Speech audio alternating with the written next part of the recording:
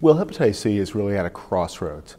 I think this is an extraordinarily exciting time for patients infected with hepatitis C and the healthcare providers that treat them. We've spent years of struggling with this disease with some successes, the ability to eradicate or cure hepatitis C in now 75% of patients treated with genotypes 1, 2, and 3. The problem has always been, however, the toxicity or side effects of therapy. Over the next year or two, we expect to see major advances in both the ability to cure, that is, high rates of response in the neighborhood of 80 to 90 percent for many patients infected with this disease, but more importantly, a therapy that has less side effects. We now have the rapid development of oral, multi dose combination regimens without interferon.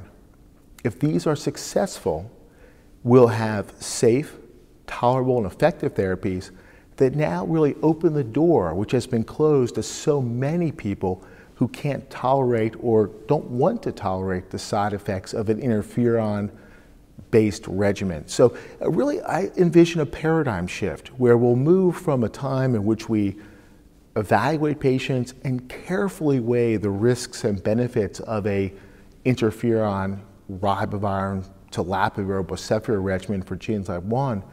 And we'll now say, you have hepatitis C, it's this genotype. Let's discuss whether we use regimen A or regimen B, and perhaps treating and curing in 12 or 24 weeks. And I think once the therapies become easier, we'll see this paradigm shift where it's test, treat, cure in a much more rapid, clear cut fashion.